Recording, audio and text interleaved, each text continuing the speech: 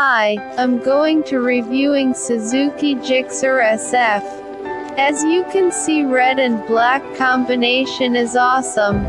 The Suzuki Gixxer SF is a fully faired premium commuter motorcycle which is targeted more as a tourer than commuter borrowing key styling elements from Gixxer like similar looking rear panels and muscular fuel tank the bike looks sportier with the additional fairing.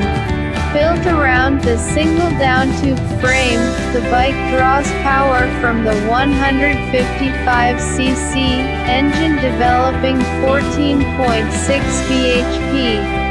The only difference between the regular version and SF variant is the full fairing while it borrows key styling features such as LED tail lamps, digital instrument cluster, clear lens indicator etc. from its naked sibling.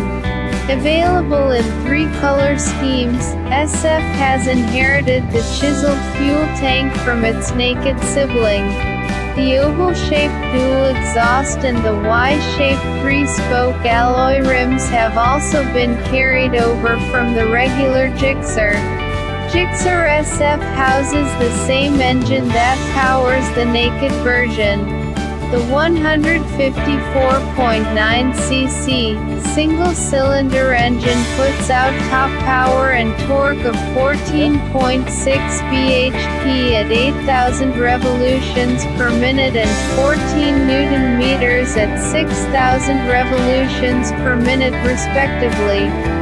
Most of the features are carried over from the naked version like the digital instrument cluster, clear lens indicator, chiseled fuel tank, LED tail lamps, tachometer, odometer, indicators, fuel gauge, clock gear indicator, adjustable RPM indicator, windshield, three-spoke alloy wheels.